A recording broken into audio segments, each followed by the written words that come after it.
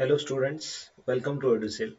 In this video, we are going to discuss about oh, one of the examples of the easy reductions named as like oh, the closest pair of points reduces to the sort. Okay, means using sort, we are finding out the closest pair of points. Before that, we should know what is closest pair of points. I've just kept uh, an example like how to find it out it's usually uh, you can say the problem will have certain design approach okay? Like we are finding out the solutions using certain designing approach. The closest pair of points is using divide and conquer okay? So before that we should know like what is closest pair of point and why it is needed. In general sense i'm just talking about suppose you think uh, the flights are exactly moving on the top of us. We don't know exactly how it is getting controlled okay?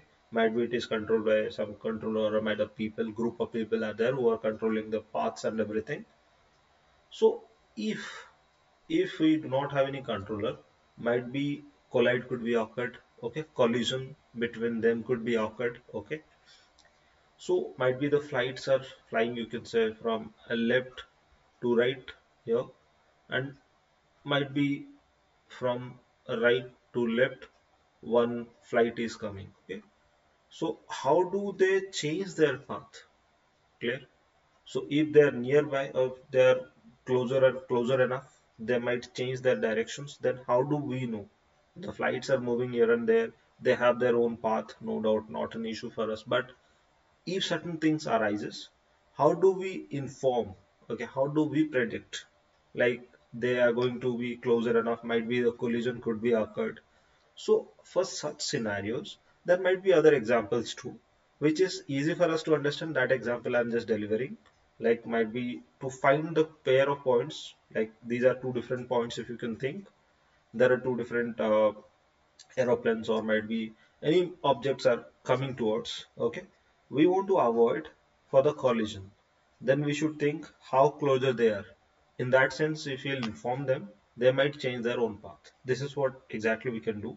Or it's what they can do with their uh, you know might be through uh, communications wireless communication. They can interact with themselves and they can change it. But we should know what is the minimum distance between them. Or might be there are different points on a plane. How do we know what is the minimum distance or which pair of points are having minimum distance?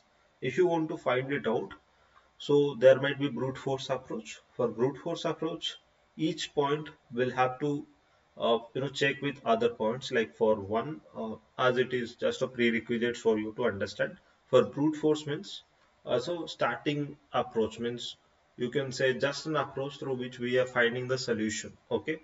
So for the brute force approach if you want to find the minimum distance between the lines or between the points on a plane for each point suppose one point you want to find it out with the n number of sorry n minus 1 number of times it has to check. Means for one uh, point it will check up to n minus 1 number of times. For n it will also check for n into n minus 1 number of times which is big of n square.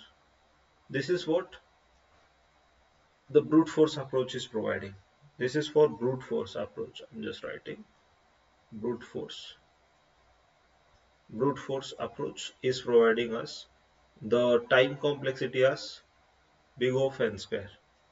To reduce that, researchers have thought for divide and conquer approach. What they thought, like they have to segregate into two different halves. Okay, means two different. The plane is segregated into two different halves.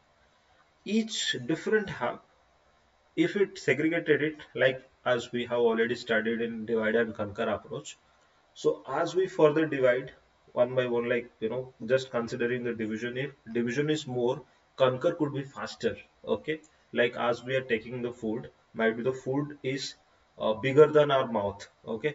So we are taking the chunks which can be chewing by us. This is what a divide and then conquer, then combine. This is I have already told you. Those who are new again, I'm just telling you, please watch the divide and conquer approach through which you can easily understand like how it is helpful and why we are following that one. Okay once we are dividing the n which is the plane is getting divided into n by 2 n by 2 this side n by 2 that side. So for each plane we are just dividing. Within that we are finding suppose 21 is a distance we found and here 12 is a distance we found. Once the minimum with two different half we are finding out. Next what we are introducing? Delta which is a threshold. You can think this is a threshold for us. Why? Because out of this two minimum we are trying to find out which one is a minimum through which we can find out if suppose here as per the example it is 21 and here it is 12 that we know if we are using minimum function the minimum is 12 so our target is whether the 12 is really minimum for us or not how do we know? Like here we are not comparing with this point to that point. Clear? Might be certain points could be possible through which we can expect the less than 12 that is why we are finding the closest pair of points. Okay this is what our target is. If we found delta is minimum as 12 if both are same 21 we can take 21 also as a minimum. Here we found 12 then what we did like from the mid of which exactly we have taken as a mid from that we have taken 12 this side and 12 that side. Within that we are taking a range. Within this range we are trying to find out which one is having the minimum. How do we found? Like 12 is minimum. Is there any other uh, you know distance or any other uh, you can say pair of points is possible less than 12 or not that is what our target is. Once we found with this delta which is threshold for us. So we again applied the divide and conquer approach here. The points uh, I numbered like 1 2 3 4 5 6 7 these are numbered. Okay.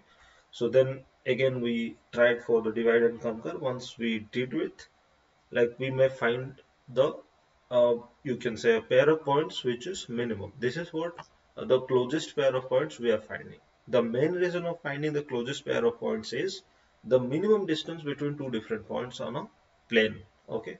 On a particular plane we are finding out the minimum distance. And in real life example as i told you to avoid collision between two different flying objects okay? Uh, there might be any other uh, real life examples too clear? So what exactly our target is? We are uh, trying to solve the closest pair of points using sort. This is what uh, it represents okay? Using sorting techniques we are finding the closest pair of points as our target is to find the minimum uh, distance between two different points or minimum length between two different points. The definition it is written the closest pair of points or closest pair problems ask to find the pair of numbers within a set that have a smallest difference between them which I told you it is written okay we can make it a decision problem decision problem is a problem like where we are getting either yes or no this is what a decision type of problem it is writing like decision problem by asking if this value is less than some threshold. So for that, what exactly we are having? Input output is always common. Input is a set S where n number of, you can say uh, n number of points are there and threshold is decided as t. Means less than t if you are getting it means which I told you the delta okay? If it is less than t we are picking those uh, points as our minimum points or closest pair of points for us okay? So output should be is there any pair? S i s j which belongs to set s okay the difference between them should be less than the threshold which i told you earlier like the delta which we decided as 12 our target is within this range okay within this range is there any value which is less than 12 or not this is indirectly we are uh, talking about the t okay so the closest pair of points is the application of sorting. Uh, these are what exactly I told you. For algorithm, what we are exactly finding out. S is a set of uh, points. T is a threshold, which we decided earlier. For that, we are just taking all the elements or all the points written there within the set. Okay, that should be sorted. Once we are sorting all the points, indirectly what we are doing, like we are trying to find out the measurement of the points which are present there so for sorting the complexity it will take n log n by default we are finding there also. So I may forget to write the divide and conquer approach. If you are finding the divide and conquer approach we are expecting the n log n time instead of getting n square okay? We were getting n square as a brute force approach. If you're using divide and conquer we are getting n log n time which is no doubt it is less than n square which is our brute force approach okay? So that's why we are using divide and conquer. Here we sort it okay? Once we sort it we got all the points in a sorted way. Next what we did like we are finding the minimum which is less than t okay? It, it might take big of 1 okay? Or you can say if it is from 1 to n like we are trying to find a minimum you can take it as n but no doubt the time complexity exactly we are finding as this one means it is written like is with minimum with a range it is written might be you can think within a for loop the if condition is written. This is our if condition. Algorithm is written as a, you can say it's a pseudocode through which we should have to analyze. Okay. So as per this one, you can say it's a if condition for us. If condition is taking big of 1 and this is a range given to us through which we can expect might be a for loop is expected. As a for loop, if you are taking the for loop, the range is from 1 to n. So you can expect as big of n. So no doubt the complexity if you can add with n log n plus big of n definitely you can say out of these two complexities you can pick the largest upper bound of the problem. This is what we are expecting. And this will give us the correct result using the sorting techniques okay? So whatever written on the right hand side that you know that one okay? Means you know how to sort it. Using sort you're finding the closest pair of words. This is what a reduction is. Reduction is not from the scratch. You know something through which you are enhancing your skills to resolve other problem. Clear so i hope it is clearly understood by you. If any doubt please comment below. Thank you. Have a good day